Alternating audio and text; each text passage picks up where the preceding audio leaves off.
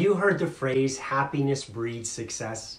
Today, I'll discuss ways we can boost happiness in our businesses.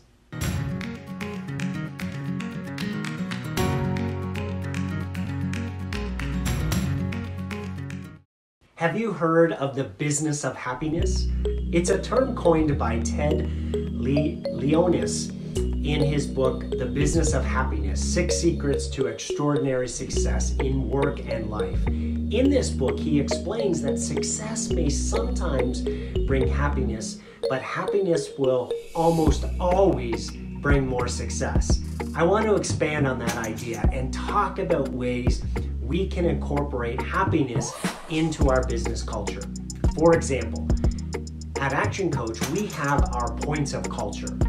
Our 10th point is happiness, which states, I view my life as a journey to be enjoyed and appreciated, and I create an atmosphere of fun and happiness so all around me enjoy it as well.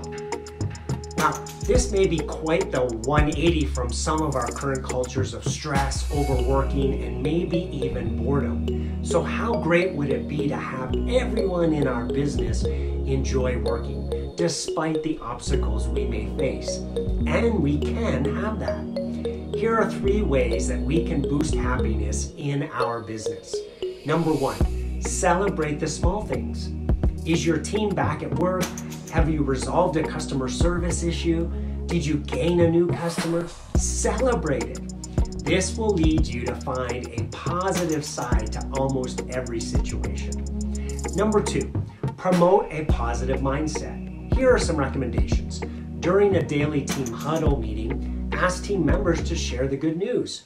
Ask team members to write moments during the day that they feel are celebration worthy on a win wall that other employees can read. Number three, demonstrate a positive mindset. Be open with your team and regularly share your own accomplishments or a little good news. Also, recognize teamwork and collaboration that is contributing to your overall business success.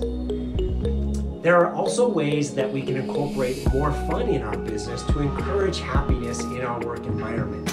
Read our latest article in the comments below to find out more about how to do that. Ultimately, happiness is a choice. And if we choose happiness, we choose success. But it's not that easy, is it? Sometimes we need someone to keep us accountable for even our mindset.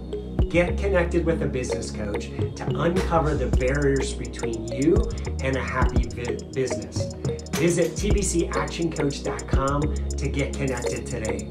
This is Coach Tim Campsall working with real people, achieving real results.